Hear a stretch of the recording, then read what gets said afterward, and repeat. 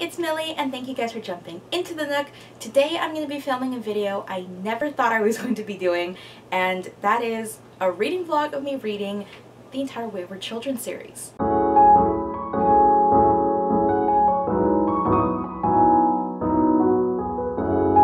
Hey guys, welcome back to my channel. So I feel like a broken record when I say this, but if you guys have been here for a while, then you know that one of my least favorite fantasy sub-genres is contemporary fantasy, portal fantasy. I've just never really been a huge fan of it. I love my fantasy to be high and epic in a completely different world with a very kind of old-timey saga feel. And I love contemporary books, but for some reason when fantasy and contemporary worlds mix together, it's just not my jam. And over the last couple of years, anytime I pick up a book that's kind of a contemporary fantasy, low fantasy, urban fantasy, things like that, I just haven't really found myself enjoying these types of books. So one of the series that's most beloved on the booktube community is uh, Seanan McGuire's series The Wayward Children's, which is a collection of novellas that are all portal fantasies. So I have heard of this series for years now. It's been super popular. It's won awards. Everybody who reads it ends up falling in love with it. And I knew that it was just not the series for me, based on my previous history with Portal Fantasy. However, if you guys recall, um, last year when I did my first round of the Hugo Novella nominations, the fifth book from the Wayward Children series was one of the six finalists, and so I kind of had to read it. Now, I was told before from looking at reviews and things like that that the you don't necessarily need to read the series in order and that they're all kind of companion novels. Um, so I was like you know what? I'll just read the fifth book for the sake of this video series. I don't actually have to read the whole series so that's fine. Um, and then I ended up reading the fifth book and it was very like okay for me.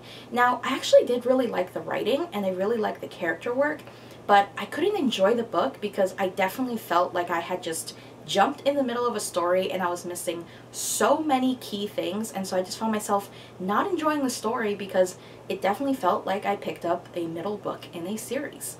So I chalked it up to, you know what, you actually have to read these books in order, but I'm never going to do that, so it's fine. And then this year, the sixth book in the Wayward Children series became one of the six novella nominations. And so I kind of had to read this again, and I figured, you know what, I think I'm going to have to bite the bullet and just read this entire series. Now granted, I could always just read synopsis for these books, but they're novellas, they're short. Why don't I give it a try from book number one and see how I feel about this? I never thought that I was going to be filming this type of video. I never thought I was going to be picking up these books and be reading from the beginning but here we are and I'm going to chronicle my journey on this. So either I'm going to you know, be assured that I really don't like Portal Fantasy, even if it's well-written Portal Fantasy, or I might suddenly love this book series, in which, you know, who am I as a reader? so what I'm planning to do for this video specifically is I'm going to be reading books 1 through 5 of the Wayward Children series. Book 6 I'm not going to read in this video because I am going to be reading it for my Is It Worth the Hype Hugo 2022 novella nominations. So you guys will see my thoughts on that in a very non-spoilery kind of way. And technically I already read the fifth book last year, but I honestly don't remember any of it, so it feels like I'm going to be starting over from scratch. So I'll give you guys a very brief synopsis of this book series if you guys have never heard of it before. Um, we are essentially following Eleanor Westwood's Home for Lost Children. It's basically a kind of like boarding school set in our world for children who have come back from other worlds. So think of the children who went through the wardrobe in Narnia. So what happens to them after they come back to their original world and they're kind of displaced from their real worlds. So I believe that this school is essentially a place for children to kind of be able to go through the grieving process of coming back from these magical worlds and learning how to kind of like readjust to our real contemporary world um, and I guess their adventures.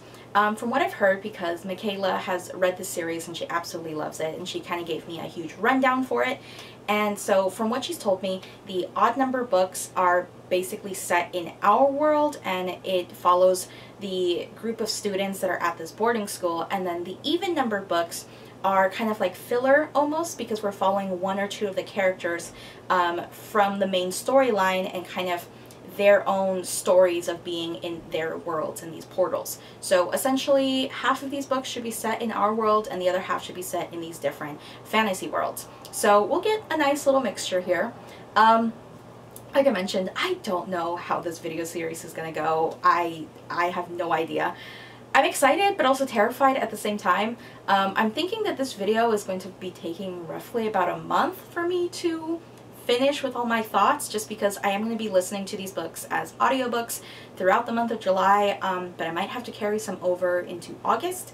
And I'm also going to be reading the rest of my books for my July TBR, and who knows what's going to happen in August. But I will um, let you guys know how this is going, and the next time you see me, it'll probably be when I am halfway through or finishing the first book for the Wayward Children series, so hopefully this goes well. Hey guys, giving you guys a car update for the first book in the Wayward Children series. Um, so if you guys hear the like little sounds in the background, I had to leave my AC on because if not I will roast and die in this car. Um, but I finished the first book in the Wayward Children series. I finished Every Heart a Doorway and I really liked this book. I'm giving it 4.5 stars. I was just really unsure of how I was going to feel about this series. As you guys know, I read the fifth one, didn't like it, but I also read the fifth book out of order, and so I knew it was going to be like a little bit different going back and starting from the first book. And like, wow, who would have thought it? Reading a series from the first book is actually the way to go. So all the people who say that you can read this series out of order, no, you're lying. You're completely 100% lying. You need to read it in order. So the first book, we're following our main character's like POV, Nancy. And I know that each book follows a different character. So for Nancy, she came from this world of basically the dead and she really resonated with this world. I believe she was only in the world for, I think she was there for a couple years, but in our time it was about six months, and so she was missing for six months. Um, so she gets sent to Eleanor's home um, because her parents are just really concerned that she was traumatized from being like a runaway for six months and they just want their daughter back. And Nancy is kind of coming to terms with the fact that she might never return to her world and is getting to learn everybody from this boarding school and we as the readers are also learning more about these different portals and just kind of like the different, I guess, labeling systems for them. But I really enjoyed this book. Like, I always liked the writing style when I first read the fifth book. Um, and my main issue with why I didn't enjoy the fifth book was just because I was so confused. And so I just wasn't enjoying it because I was confused. But since we were getting it from the beginning and we were just learning so much about this world and all the different systems and everything like that, I enjoyed my time tremendously reading this book. And it's interesting because I thought that this book series was adult. And it's actually YA, but it's also kind of like the author says that it's for all ages. Um, even though majority of the characters are teenage age, you know, like between, I want to say like 15 and 17. So you would think it's YA, but it does have a lot of like very mature content, but it also just feels really inclusive and it just has this wonderful magical sense. So I can understand why these books are so popular now. I, I get it. I get it. And I enjoyed the first book a lot. So I'm excited. I'm going to pick up the second book like tomorrow. It's, I think I'm really enjoying this. I'm, I'm quite surprised, but yeah, I really like it. Hey guys, um, so it's finally a much cooler day for me to film. Um, it's been crazy, crazy hot where I live the last couple of days. Like it's, it's been insane, but it's finally like pretty good enough weather so I don't feel like I am melting in this room and I've been having to have the AC blasting the last couple days which my electric bill is not going to be happy with me. But anyways, let's talk about the second book in the Wayward Children series. So I managed to read Down Among the Sticks and Bones and I'm really really surprised but I'm giving this five stars. I absolutely love this book so much. Like it's perfect. Like even from the very beginning where it's being more of like a narrative style where it's going through the history of Jack and Jill, like how they were growing up and who they were as individuals before they went into the portal and how that basically like affects all the decisions they make and you really get to understand the characters from the first book um, because now we're going into their past and kind of like diving deeper into that. And I love the fact that the second book, this one really could be read separately. so it feels like the odd number books, like the first, third, fifth, like all of them kind of follow the similar characters from book one and they have like a storyline that continues on. Book two could be read separately, but the story does continue, so like I would read other installments. But anyways, we're following Jack and Jill and them growing up. And this book is such an interesting take on the opinion that not all adults should be parents. Um, because Jack and Jill's parents should have never had kids.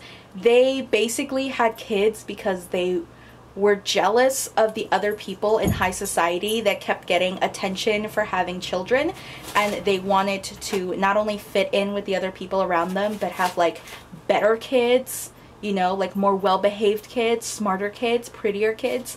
And so for the most selfish reasons ever they wanted to have children. Um, and then they basically took the twins and tried to mold them into like these perfect little beings and made one of them be like the sporty tomboy and make the other one be like the pretty princess and kind of establish what their characters traits should be before they were even born and it kind of went against like their individualistic natures and they never really got a choice in how they were raised and like any any type of autonomy whatsoever they were told what their favorite hair hairstyle should be. They were told what their favorite colors should be. They were told who they should be friends with and what activities they should do and how they should behave and how they should have to be different from each other. And so it definitely brought a lot of animosity between the twins and explains their kind of rocky relationship as sisters and also explains why they made the choices they did and why they went down the roads that they did. Um, so this book was so interesting and I had such a good time listening to it. It's definitely been like my most enjoyable of all the books I've read so far. Um, and I think that might be the case moving forward. I don't know. But I really, really like this book. So I'm surprised by how much I'm liking this series. And like, am I totally to eat my words by the end of this? And like fall in love with this book series? Like, who am I? Hey guys, so I'm popping in here to talk to you guys about Beneath the Sugar Sky, which is the third book in the Wayward Children series. So I finished this one and I didn't really like this one as much as the other two. Um, this one's definitely my least favorite. So in this one, because it's an odd number, we're back at the Wayward um, house and so we're technically like in the contemporary world um, and we're with some of the children that we met from the first book. Um, however, this one is more of a quest story. Um, so we have a character who is the daughter of someone from the first book, and um, she's coming from her mother's land, um, but time traveling is a thing, and so at this point she's like 16, but her mom would be the same age as her. And so she's coming from the future and she's traveling through the different portals and she's basically needing their help in order to help her land. Um, and I don't want to say like how exactly she needs their help because it would be spoilers from the first book. Um, but she needs their help, and so then it's a group of kids. It's Kade, um, Christopher, and we meet two new characters, Cora and Nadya. And so all of them are going together on this quest. Um, and they're going through all the different um, portals to all these different lands and for me that's kind of like the the cheesy part of portal fantasy that I don't like is kind of the whole like questing through different worlds. Um, because we don't really get to learn about the worlds that well because we're just jumping through them really quickly. Um, and then the tone for this one was definitely a little bit younger especially since the one land that we were in the longest was a nonsense world. And I've realized reading this series that I like logic worlds and I don't like nonsense worlds. Um, and so for me it was a world that was entirely made out of candy and so it was just it was not my thing so I didn't really enjoy them being there in that world and kind of just like jumping through all the different worlds. Um, the plot itself was fine and the characters were great as always and the writing was spectacular um, So yeah, you know what? Actually, let me let me fix that. I love the characters and I love the writing, but it was the plot that I just wasn't enjoying. It was just not my cup of tea. So I think ultimately I'm going to give this book 3.5 stars. Um, yeah, but I do want to continue the series and hopefully it doesn't go on the same path because the first two books were so good. So we'll see.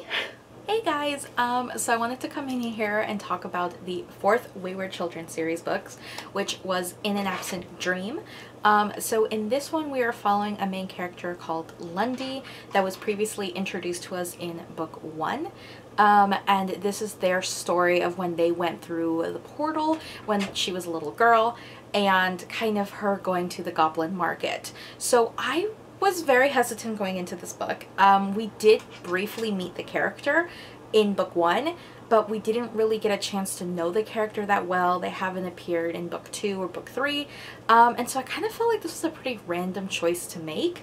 But I did like the fact that it was at least a character that we knew vaguely of, and we kind of already knew the ending of her story, and so it still didn't take away from the enjoyment of the book and I ended up liking it more than I thought I was going to. So with this one we're following um, the main character Lundy as she goes to the goblin market and it's a very interesting circumstance because unlike the other books um, and the other children and their portals, they went to the portal world came back and then they're basically kind of stuck in their regular world and wanting to go back to their fantastical world.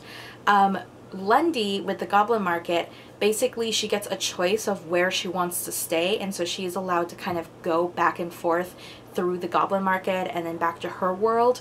Um, and so we kind of see like her choice as she's kind of living a double life between her regular life with her human family and all of the other like found family that she has in the Goblin Market and just kind of like her choice behind all of this.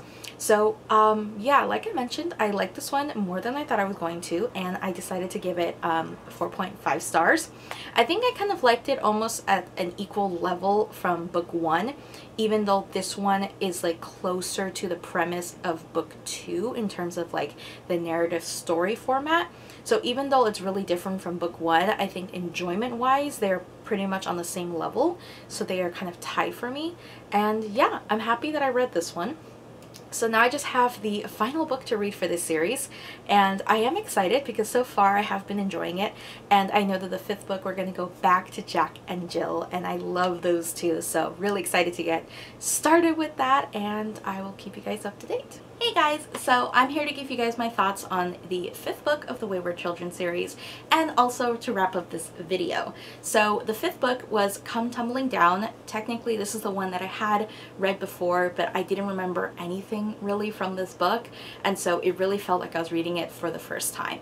And so originally I had rated this book three stars but I decided to just ignore that past rating and you know start all over as if I was reading it for the first time. Um, and so my overall star rating for the first time reading this book is going to be a 4.5.